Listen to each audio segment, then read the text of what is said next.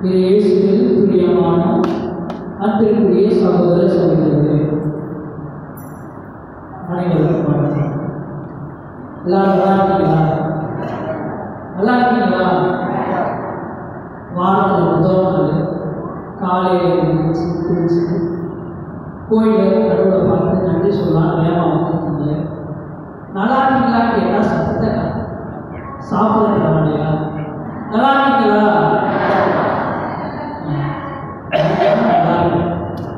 புதிய அந்த ஒரு சந்தோஷத்தில் ரொம்ப மகிழ்ச்சியாகவே இருக்கு.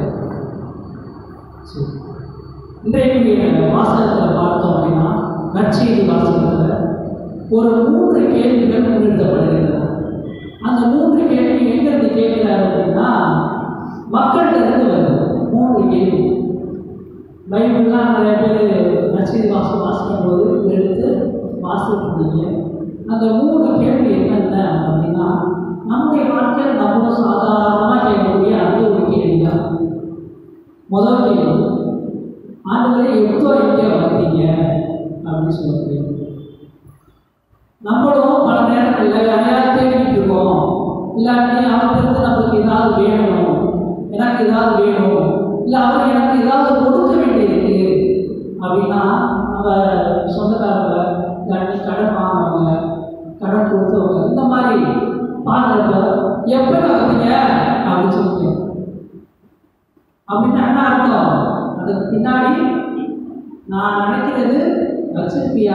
அப்படின்னு கேளுங்க எப்போ வந்தீங்க அதே தான் இங்கே மக்கள் கேட்கிறாங்க. எப்போ வந்தீங்க? இயேசு சொல்றாரு நீங்க கேட்குற கேள்வி எனக்கு தெரியுது. நீங்க எதை தேடி வந்தீங்கன்னு நல்லா வயிறார ஒன்றுக்கு இப்ப மறுபடியும் சாப்பிடணும்னு என்னை கேள்வி வந்திருக்கீங்களா அப்படின்னு அந்த கேள்விக்கு இந்த பதில் சொல்லுங்க அப்போ உணவுக்காக விளையாடுங்க நிலைவாழ்வு தரக்கூடிய ஒரு உணவு இருக்கு. அப்படின்னு சொல்லி இயேசு சொல்றாரு அவங்களோட குற்றம்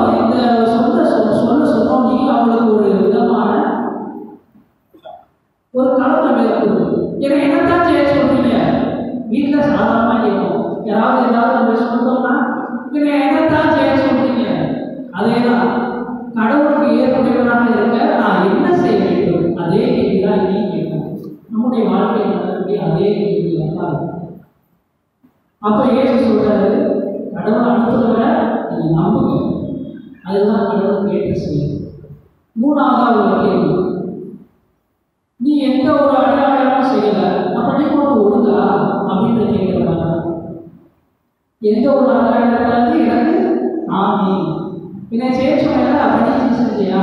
இதே தான் மருந்து கேட்கிற மாதிரி தான் அப்பதான் சொல்றாரு வானிலிருந்து உங்களுக்கு அருந்துவர் நடவும். நிலைவாழ்வுக்கான அந்த இன்னைக்குரிய வாசகத்தை இப்படி பார்த்தோம். இன்னைக்குரிய மையமாக எந்த பொருள் அடங்கி இருக்கு அப்படின்னா நிலைவாழ்வு தரக்கூடிய அந்த உணவை தேடுகிறது வேற எதையும் தேவை நிலைவாழ்வு தரக்கூடிய உணவை தேடுகிறது நிலைவாழ்வு தரக்கூடிய உணவு எது? வாழ்வுதல் உணவு. அது இருக்கு எல்லாரும் நம்ம இயேசுன்னு சொல்லியிருக்கோம். அப்படிதான் அதை எப்படி பார்க்கணும்? ஒவ்வொரு நாளும் நம்ம சொல்ல சொல்லும்போது அப்படின்னு சொல்றப்ப முதல் ஜெபம் என்ன சொல்லுவோம்? ஏசு ஆ இயேசு கற்றுக் கொடுத்த ஜெபம். இயேசு கற்றுக் கொடுத்த ஜெபத்துல அந்த உணவை பற்றி ஒரு இடத்துல வருது அது என்னது?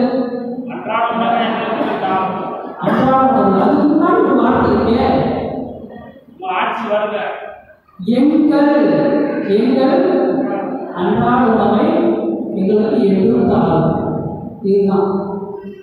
அதே மாதிரி அந்த உணவை எங்களுக்கு எப்போதும் தாரும் அப்படின்னு சொல்றாங்க. எங்கள் அன்றாட உணவை எங்களுக்கு தாரும். இதுல உள்ள அந்த எங்கள் அன்றாட உணவு அப்படின்னு சொல்லக்கூடிய அந்த ஜபம் வந்து எதை சொல்கிறது என்றால் அந்த உணவு இயேசு. அன்றாட உணவான இயேசுவை தாரும் அப்படின்றது தான் அந்த ஜெபம். அந்த இயேசுவை நம்ம பெற்றுக்கொண்டோம் என்றால் நிலைப்பாடு கிடைக்கும் அது எப்படி? இயேசுடைய உணவாக இருக்கிறது இயேசுடைய உணவு எது? தந்தையினுடைய சித்தம். கடவுளுடைய திருமணத்தை நிறைவேற்றுவதே ஏன் உணவு என்று இயேசு சொல்கிறார். யோகான செய்தியை பார்க்கும்போது இயேசு சொல்லக்கூடிய வார்த்தை கடவுளுடைய உணவு எது என்று கேட்டால் கடவுளுடைய திருமணத்தை நிறைவேற்றுவதே உணவு என்று இயேசு சொல்கிறார். அப்ப கடவுளுடைய திருமணம். கடவுளுடைய திருமணத்தை நிறைவேற்றினா என் உலகம் சொன்ன அந்த இயேசு நிறைவாழ்வை கேட்கிறார் அந்த நிறைவாழ்வு எது ஒன்னே ஒன்று கடவுள் அனுப்பிய அந்த நபரை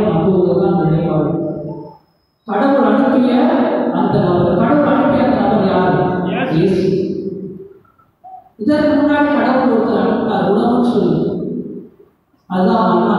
முதல் முதல் வாசகத்தில் பார்த்தோம். மன்னான்ற உணவை கடவுள் மக்களுக்கு இஸ்ரேல் மக்களுக்கு பாலைவனத்தில் இருந்தப்ப பசியை போக்குறதுக்காக மன்னாவையும் காடைகளையும் அனுப்பினார் அவங்களுக்கு அப்போதைக்கு அந்த பசி தீர்ந்தது. ஆனால் என்றுமே என்றுமே தீராத என்றுமே நம்ம பசி தீரணும் அப்படின்ட்டு நம்மளுடைய கலக்கங்கள் எல்லாம் மாறணும் என்று கடவுள் கொடுத்த அந்த உணவு இயேசு. அந்த நிறைவாழ்வை நாம் உண்டோம் என்றால் நாம் வாழ்வதற்கு உணவை பெற்றுக்கொள்கிறோம். இப்ப இங்க எங்கள் அன்றாட உணவு என் அன்றாட உணவு நம்ம கேட்கவே இல்லை. எங்கள் அன்றாட உணவு ஏன் என் அன்றாட உணவு கேட்கல? உயிர் வாழ்வதற்கு ஏன் என்றால் எங்கள் என்று சொல்லும்போது இங்கேயே நான் இன்னொருத்தரை நான் அனுப்பல என் கூட எல்லாத்தையும் சேர்ந்தது. எங்கள் என்று சொல்லும்போதே என் கூட எல்லாத்தையும் சேர்ந்தது. அதுதான் கிறிஸ்தவம். கிறிஸ்தவம் என்பது எனக்கு மட்டும் வேண்டுவதாக அல்ல எல்லாத்தையும் சே சேர்க்கக்கூடிய அளவிடக்கூடிய ஒன்றாக இருக்கும் அதான் எங்கள் அப்படின்னு சொல்லக்கூடிய அந்த வார்த்தை. இதைத்தான் பதினாறாம் வருடம் இந்த கடவுள் கற்பித்த இயேசு கற்பித்த அந்த சொல்லும்போது எங்கள் என்பதை குறிப்பிட்டிருக்கிறார். அதே மாதிரி அன்றாட உணவு அப்ப இயேசுவை அன்றாடம் பெறணும். இதற்கு அன்றாட உணவு ஏதாவது இருந்தது என்றால் பல உணவு நம்ம சாப்பிடக்கூடிய பல உணவுகள் இருக்கலாம். எனக்கு பிடிச்சது எது அப்படின்னு சொல்லி சின்ன பிள்ளைங்க கேட்டால் இப்போ ஃபாஸ்ட் ஃபுட் ஃபாஸ்ட் ஃபுட் தான் எனக்கு வேகமாக பிடிக்கும். ரொம்ப பிடிக்கும் அப்படின்னு சொல்ல முடியும் ஆனால் இன்னைக்கு நம்ம எல்லாரும் ஒரு சூழலில் மாற்றி கொண்டிருக்கிறோம் எல்லாம் பழைய எது திருப்பி கொண்டிருக்கிறோம். பழைய எது என்பதை விட உணவே மருந்து என்று சொல்லக்கூடிய அந்த நிலையை திருப்பி கொண்டிருக்கிறோம். அப்போ அதை நம்ம முன்னெடுத்துக்கிறோம் இன்றைய சமுதாயத்தில் இது தேவை. இன்னைக்கு அன்றாட உணவை எங்களுக்கு தாரும் என்று இயேசுவிடம் கேட்கக்கூடிய நாம் அந்த அன்றாட உணவு இயேசுவாக இருக்க வேண்டும். இங்கே உணவு என்று சொன்னோம். அன்றாட உணவு என்று சொன்னோம் எங்கள் என்று சொன்னோம். இப்போ இதை பார்க்கணும். இப்போ இயேசு என்று சொல்லும்போது எங்கள் அன்றாட உணவு என்று சொல்லும்போது அந்த நிலைப்பாடு எழுதுவதற்கு நாம் என்ன செய்ய வேண்டும்? இதுதான் இன்னைக்கு கேள்வி. நிலைப்பாடு பெறுவதற்கு நாம் என்ன செய்ய வேண்டும்?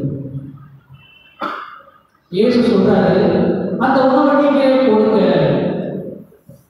அந்த உணவை நீங்களே கொடுங்க அப்படின்னு சொல்லி சீடர்கிட்ட சொல்றாரு. அவனுக்கும் அதே அழைப்பு தான் கொடுக்குறாரு. இயேசுடைய சீடர்களாக இயேசுவை ஏற்றுக்கொண்ட நாம் அந்த நிலைப்பாடை பெற்றுக்கொண்ட நாம் இயேசுவை அறிவதை நிலைப்பாடு அப்படின்னு பார்க்கணும் அப்போ இயேசுவை ஏற்றுக்கொண்ட நாம் அந்த உணவை நம்ம கொடுக்க சொல்லி இயேசு சொல்றாரு. சீடர்கிட்ட கொடுக்க சொன்ன மாதிரி அப்போ பகிர்ந்து உண்ணக்கூடிய அந்த உணவு பகிர்தல் எப்படியெல்லாம் பகிரலாம்? எனக்கு மட்டுமே என்று சேர்க்காமல் எல்லாருக்குமே.